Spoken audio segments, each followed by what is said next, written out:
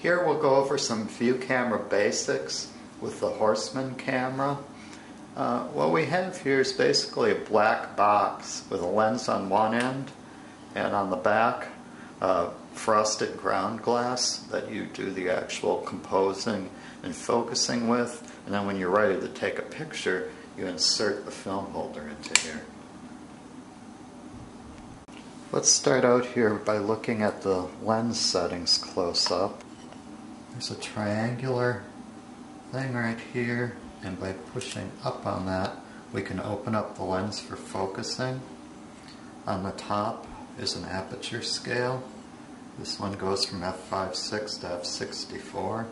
For focusing we'll want that at f5.6 and then um, when we're ready to take the picture we'll be closing the shutter by pushing this triangular thing down and then selecting a shutter speed and then um, which is on the front there and then by tensioning the shutter and then um, we're ready to make an exposure.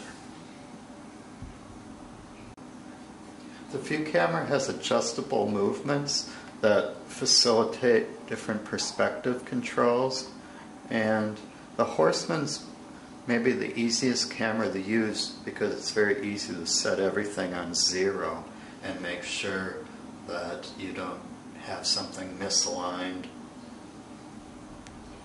Most typically, you'll set the camera up so the back is perfectly level and then use, for perspective, you usually use front rise and fall to give the effect of pointing the camera up or down without um, having your verticals converge.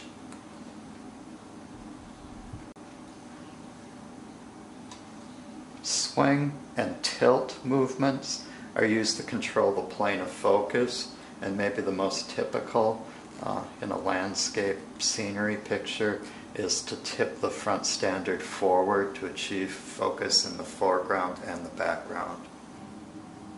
To focus the view camera, we use the triangular slider to open up the shutter and then make sure that the aperture is at the maximum opening to make the image brighter on the ground glass.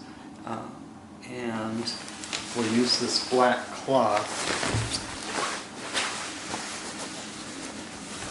to facilitate brighter.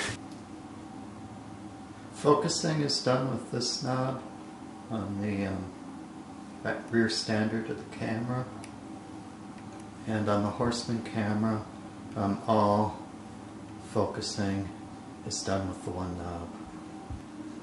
Once we have our image composed and focused, we'll use the triangular slider to close the shutter, set the aperture, set the shutter speed, and then tension the shutter. Now we're ready to expose the film, which is in the 4x5 cassette, which we slip in here in front of the ground glass and make sure that's seated in place. Pull out the dark slide, which was to the white side to indicate that there's unexposed film in there. Take the picture and then replace the dark slide with the black side out.